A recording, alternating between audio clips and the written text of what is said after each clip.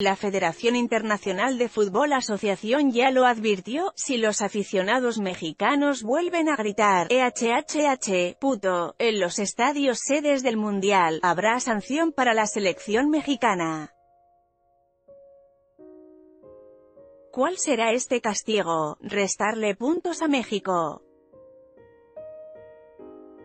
El máximo organismo del balompié en el mundo abrió una carpeta de investigación después de haberse presentado el grito por parte de los aficionados mexicanos en el duelo entre Alemania y México.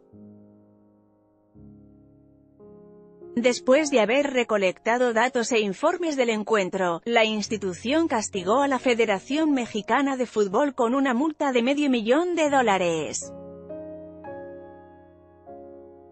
México podría ser castigado con la pérdida de puntos en el Mundial. Foto, Baja Press, la propia Femex Food lo advirtió, nosotros pagaremos la multa, pero las sanciones próximas deberán ser a los aficionados. Si bien los aficionados propiamente serían castigados únicamente con el retiro del Fan ID, que es su boleto para los encuentros en Rusia, el máximo castigo al que pueden hacer acreedora a la selección sería la pérdida de puntos. La Federación Internacional se basó en los informes de los visores que estuvieron presentes en el estadio Luzhniki el día del enfrentamiento entre Alemania y México.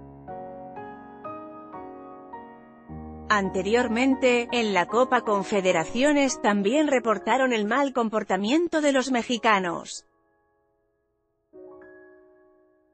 Podría interesarte, sancionan a México por grito de EHHH, puto, en el Mundial en Rusia entérate de la información más relevante del Mundial en cultura colectiva Newslau Almaraz, periodista egresada de la FES Acatlán.